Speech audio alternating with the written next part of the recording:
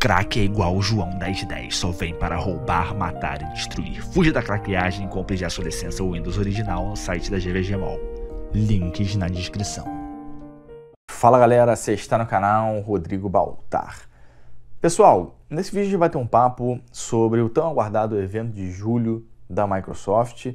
Vamos falar sobre rumores envolvendo um possível Xbox Series S, para todos aqueles fãs do Xbox que não fazem questão de rodar o Crackdown 3 em 8K 300 FPS, vão falar sobre o chefão da divisão Xbox, Phil Spencer, e vamos bater um papo sobre mais um monte de coisa envolvendo o mundo dos games. É importante que você se inscreva no canal aqui do YouTube para que a gente continue trazendo conteúdo para cá. Hoje o foco é todo na Twitch, se você ainda não segue na Twitch, arroba loucobaltar para acompanhar as lives do canal.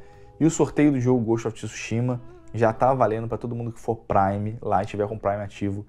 No dia 17 vai concorrer a uma cópia do jogo edição especial. Então vamos lá, pessoal. Tem muita gente aguardando por esse evento de julho da Microsoft. A Microsoft já falou que o evento vai ser ao vivo, que vai ter muitas novidades, que vão ter muitos jogos. A Microsoft parabenizou a Sony pelo evento que ela apresentou o PS5 no mês passado.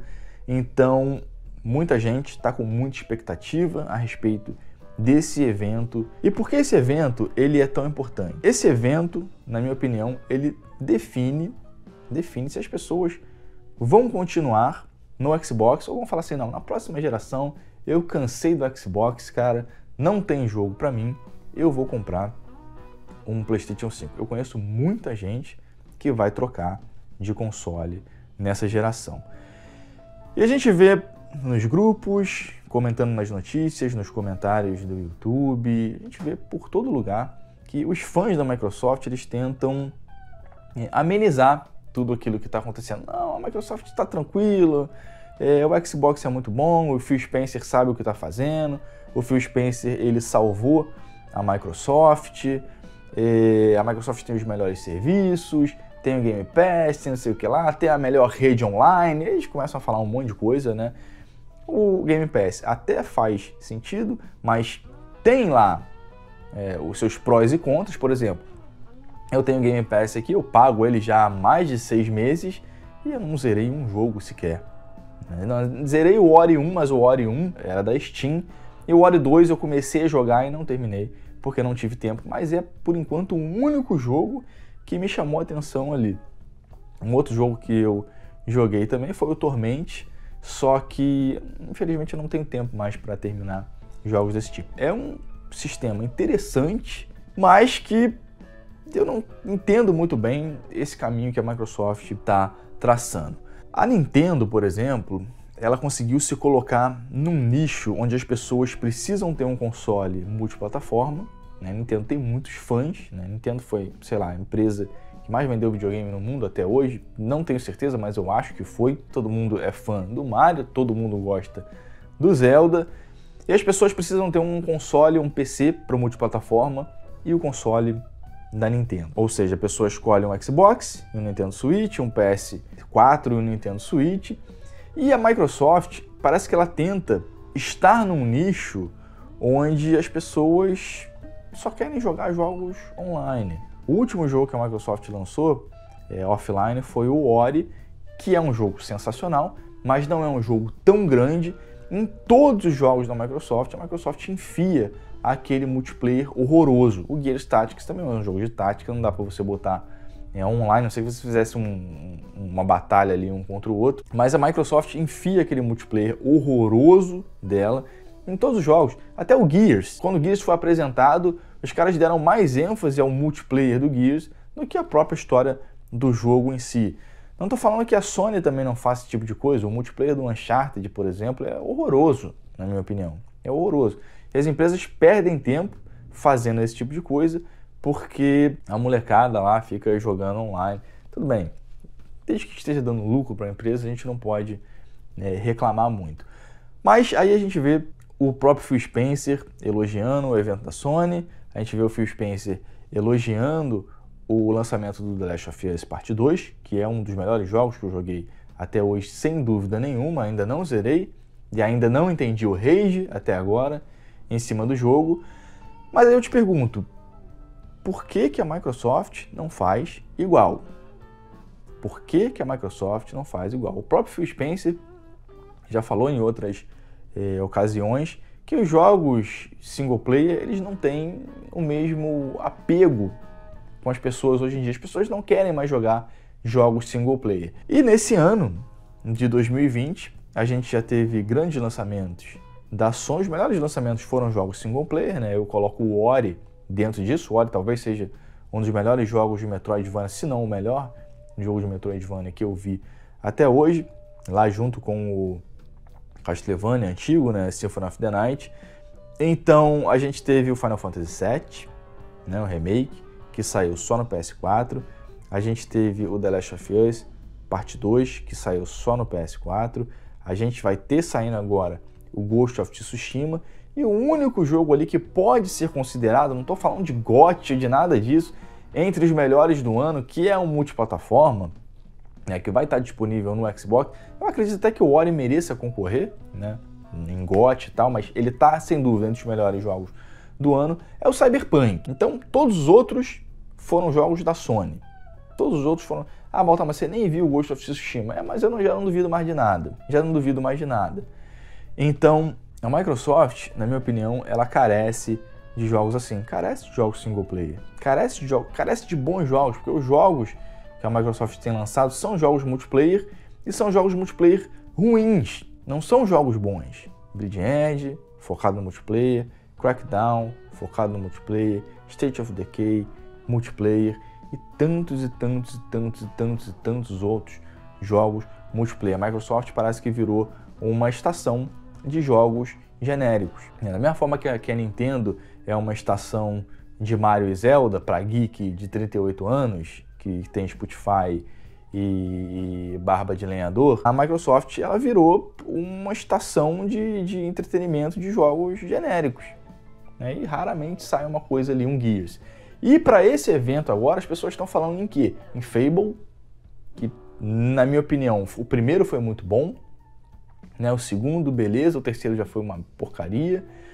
Halo Infinite, que pode tem muitos fãs, é lógico que vai vender muito. A galera compra Halo também só para não só pra falar assim, não, o nosso exclusivo incrível é o Halo, mas na minha opinião é um jogo muito datado também e eu duvido que seja muito diferente. Agora, não acredito, não confio no Halo.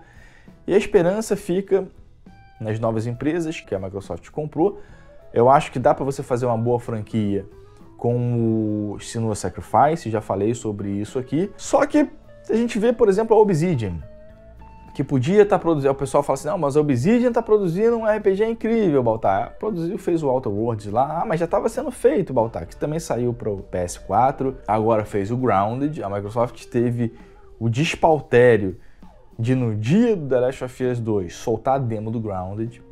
Né? Ou seja, pegou Obsidian, que é uma das melhores que fez Neverwinter Nights, fez Pillars of Eternity, fez Tyranny, fez grandes jogos de RPG e botou os caras para construir um jogo chamado Grounded, horroroso, que ninguém tem interesse naquilo ali. Eu tenho as minhas dúvidas, eu não fico nesses sites online aí vendo quem está jogando o quê, mas eu tenho minhas dúvidas se as pessoas estão jogando Bleeding Edge. Se as pessoas estão jogando Crackdown, Crackdown que ia trazer o poder da Azure, que não sei o quê, blá blá blá. Então, qual o sentido hoje em dia de você ter um Xbox? O Xbox ele é só pro cara que não quer ter um PC. Não, até entendo, né? Não, é só você ligar e jogar, beleza, beleza, só você ligar e jogar. Mas é só isso. Porque nenhum PC ele consegue ser. É porque o cara não pode jogar o competitivo dele lá em 300 FPS, jogos competitivos é tudo no PC. O suporte a teclado e mouse até tem no videogame, mas a galera não usa, todo mundo que prefere isso prefere jogar no PC. Então o Xbox ele é um PC que ele não consegue ser um PC. E qual é o sentido de você comprar um console super poderoso como o Xbox Series X, se você pode jogar os jogos no console mais antigo, mais simples, e também se você pode jogar os jogos é, no PC, sem gastar tanto. Eu não quero rodar o jogo em 4K, eu quero rodar o jogo em 1080p. Então um PC bem simples faz esse trabalho. Ou eu quero jogar os jogos melhor do que no Xbox, eu compro um PC também, um pouco mais caro do que o próprio Xbox. Então o Xbox ele fica, ele é uma plataforma hoje em dia, na minha opinião, que não tem muito sentido, cara. Não tem sentido você escolher é, um Xbox. Por quê? Porque só tem jogo ruim. Ah, mas ele é o melhor console. Foda-se. Você quer jogar o quê? O Bleeding Edge, um 8K? É. Então, faltam jogos. A gente fez um, uma pesquisa rápida lá entre os jogos grandes da Microsoft desde o lançamento do Xbox. Se eu não me engano, a gente contou 19 jogos, alguma coisa assim, para a Microsoft. E no caso do PS4, cara, foi mais de 30. Foram mais de 30 jogos grandes. Não importa se você gosta do jogo ou não, a gente contou os jogos grandes. Então a diferença dos jogos da Sony é, é abissal. Você não tem um jogo que você olha assim no Xbox e fala assim, não, esse jogo aqui teve o orçamento próximo do The Last of Us. Ah, Balta, mas o The Last of Us é um ponto fora da curva. Beleza, o Uncharted 4. Ah, mas Balta, o Uncharted 4 é o ponto fora... Beleza, o Spider-Man. Ah, Balta, mas o Spider-Man é um ponto fora da curva. Beleza, o Horizon Zero Dawn. Ah, Balta, mas o Horizon Zero Dawn é um ponto... Beleza, o Death Stranding. O Death Stranding, ele vai sair para PC. E não vai sair para Xbox. Né? O Horizon, ele vai sair para PC e não vai sair para Xbox. Então a galera do Xbox vai jogar o quê? Forza e Guias e Halo para sempre? Tá jogando essa merda desde do Xbox 360? Eu fiz um comentário num, num post que era do Phil Spencer parabenizando a Sony pelo lançamento do Last of Us. Eu falei, cara, esse cara, na minha opinião, ele já tinha que ser demitido faz tempo. Ele não salvou porra de Xbox nenhum. Qualquer outro cara que você botasse lá na divisão do Xbox naquela época que a Microsoft fez aquela imbecilidade lá de falar, não, central de entretenimento, com conexão com a TV, com redes sociais e o caralho. Quando o nego queria o quê? Jogo. Qualquer um ia fazer. Kinect, o caralho, pra tu ficar dançando naquela merda. Todas aquelas babaquice. Né? Se você me conhecesse lá em 2013, eu ia falar assim, caralho, essa babaquice não vai dar em lugar nenhum.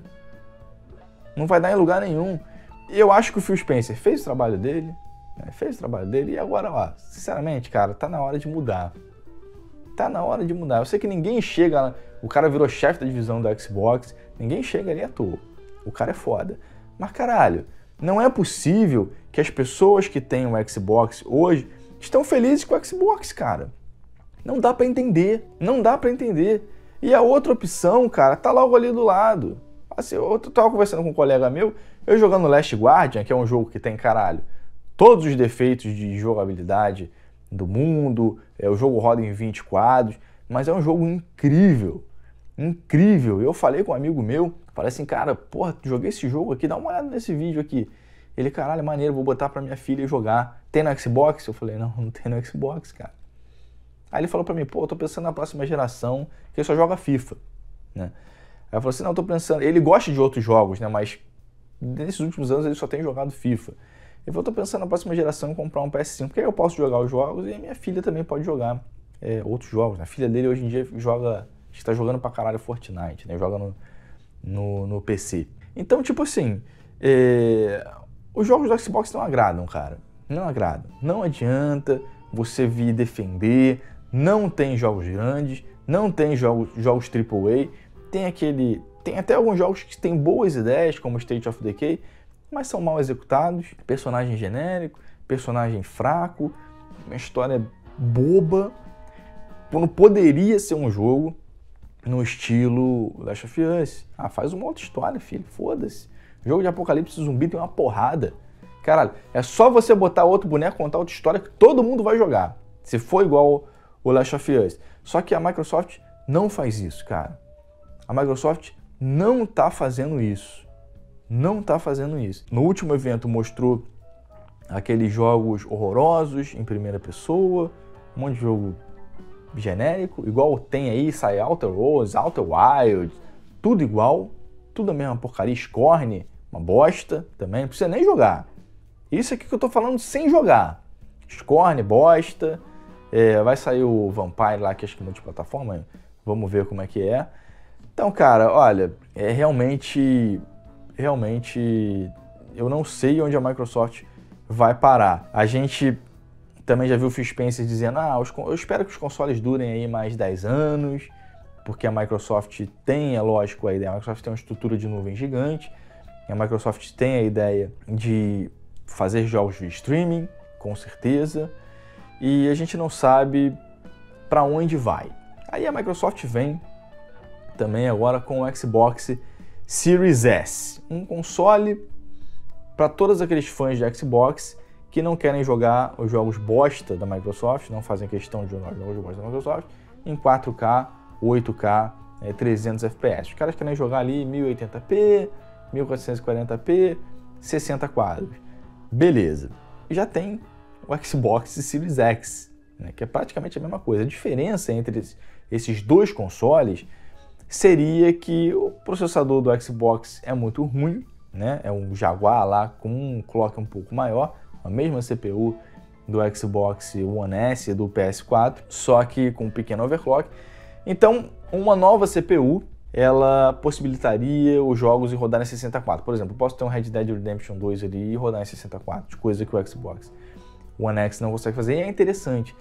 E eu acho que a saída para a Microsoft, e isso seria uma ideia genial, já que a Microsoft fala tanto, não, nós apoiamos os gamers. A gente não se importa se o cara está jogando Minecraft no PS4, no Nintendo Switch, a gente não se importa com isso, a gente quer que as pessoas joguem. Então a Microsoft podia ter a ideia, eu não sei se isso seria possível, é possível tecnicamente, é óbvio que seria, mas eu não sei questões de licença. Falar assim, não, agora toda a biblioteca da Steam, da Origin, da Battle.net estarão disponíveis no Xbox. Ah, mas o Death Stranding, aí é questão de licença, Death Stranding não sai. Aí o Horizon, beleza, o Horizon não sai. Mas transformar o Xbox numa estação de jogos como se fosse um Windows Machine. Lembra da Steam Machine? Que era uma porcaria lá do computador com Linux, que não tinha jogo? Então, fazia um Windows Machine. Pega ali a caixinha do Xbox, que é bonitinha, bota um teclado ali, um mouse sem fio, que os da Microsoft são incríveis. Né? O teclado sem fio da Microsoft é incrível. A pilha dura 3 anos, para quem está preocupado com a pilha. A pilha do mouse do, da Microsoft dura 3 anos também. Eu tenho aqui, eu tenho um teclado da Microsoft de 2008. Se eu troquei a pilha 5 vezes, foi muito. E transforma numa central de jogos. De jogos. Xbox, Windows, foda-se. Né? Transforma o Xbox nisso. Aí, beleza. Desde que você tenha uma biblioteca cara, gigantesca de jogos iguais a do PC, oferecendo um bom hardware por um preço muito mais em conta do que um super PC, caralho, show! Né? Show! Aí, porra, o cara que não tra... o cara só quer para jogar, o cara não trabalha, caralho, aí beleza, aí o Xbox faz sentido, ah, só não vai rodar os emuladores da Nintendo, né? Mas também, porra, não é oficial. Só de você ter a quantidade de jogos que tem na biblioteca do PC, cara, pode jogar até o Metal Gear do Amiga, né, que deve estar disponível em alguma plataforma. Então, isso seria muito bom.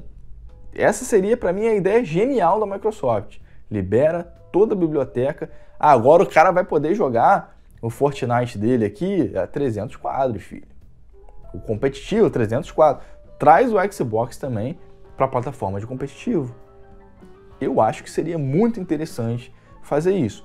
Ou isso, ou olha a Sony e fala: não, a gente quer isso aqui. Eu prefiro isso até, né? Aliás, eu prefiro os dois. Porque o PC é os dois hoje em dia. O PC, ele acabou se tornando até mais atraente do que o Xbox, porque teve uma época que o PC estava esquecido. A Microsoft começou a jogar, a lançar os jogos do, do Xbox para o PC, e o PC, agora a Sony lança alguns jogos também, e o PC foi subindo. Foi subindo. Hoje em dia é mais interessante, o Xbox é só mesmo para quem não quer jogar no PC. Ah, não gosto de instalar o caralho, que é chato pra caralho, é uma foda, mas hoje em dia o, o PC é uma plataforma mais interessante do que o próprio Xbox. Né? A Nvidia falou do lançamento do Death Stranding no PC e promete 60 quadros com 4K na RTX mais simples de todas, que até algum tempo atrás estava custando R$ 1.600. Quanto é que vai custar esses novos consoles? Mas voltando lá, eu preferia que a Microsoft investisse em grandes jogos. Em grandes jogos. E para salvar a marca dela, né, para salvar a marca, se a Microsoft está investindo em hardware, também. A Microsoft investe, é empresa de software. Ela investe no hardware do Xbox investe no software do Xbox. Então ela está gastando dinheiro para criar esse hardware. Então ela tem que trazer as pessoas, tem que fazer com que as pessoas queiram comprar o console da Microsoft. E como é que eu vou fazer isso? Como é que a Sony vende PS4? Por causa dos jogos. Como é que a Nintendo vende o celular da Nintendo, o Nintendo Switch? Por causa dos jogos. Como é que a Microsoft vende os consoles da Microsoft? Eu não sei. Por conta dos serviços lá de um real. Beleza. Mas se, se você se contenta em ficar pagando um real lá, 13 reais, para jogar jogo merda, tudo bem. Serve muito para uma criança.